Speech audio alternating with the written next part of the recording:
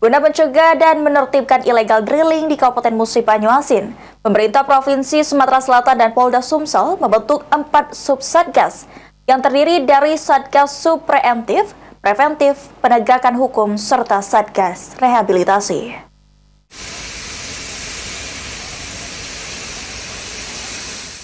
Guna menangani ilegal drilling di Kabupaten Musi Banyuasin dari hulu sampai hilir, pemerintah dan Polda Sumsel membentuk empat sub satgas khusus. Menurut Kapolda Sumsel, Irjen Polisi Rahmat Wibowo yang ditemui usai melakukan rapat penanganan ilegal drilling secara tertutup bersama PJ Gubernur Sumatera Selatan dan instansi terkait lainnya. Empat sub satgas khusus tersebut terdiri dari Satgas Sub Preventif berkaitan dengan kegiatan imitigasi, dan sosialisasi ke masyarakat. Lalu Satgas Subpreventif atau pencegahan seperti melakukan patroli pembangunan pos pengamanan dan Satgas Penegakan serta Satgas Rehabilitasi Lingkungan dan Masyarakat. Sementara untuk penutupan lokasi ditambahkan Kapolda Sumsel Irjen Polisi Rahmat Ibowo akan dilakukan namun secara bertahap setelah masyarakat telah meninggalkan lokasi pengeboran minyak dan alat-alat produksi untuk illegal drilling diamankan dengan berkoordinasi ke tokoh-tokoh agama dan kepala desa setempat.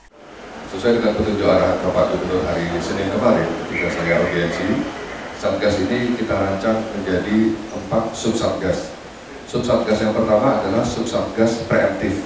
Ini terkait dengan kegiatan-kegiatan mitigasi, yaitu sosialisasi juga memanfaatkan media kepada masyarakat kalayak ramai baik yang bekerja di hulu maupun yang di hilir bahwa pemerintah daerah sudah bersama-sama stakeholder yang lainnya membentuk Satgas. PJ Gubernur Sumatera Selatan Ellen Setiadi mengatakan, pembentukan Satgas ini merupakan bentuk meminimalkan kerusakan lingkungan dan korban jiwa dampak dari kegiatan ilegal drilling ini. Untuk surat keputusan pembentukan Satgas sendiri akan segera diterbitkan dalam beberapa hari ini.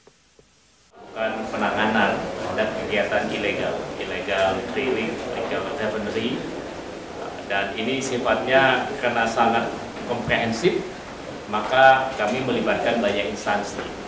Jadi tidak hanya sekedar aspek penegakan hukum tetapi yang paling kita pentingkan adalah aspek penanganan sosial dan dampaknya terhadap Aji Delia, Pal TV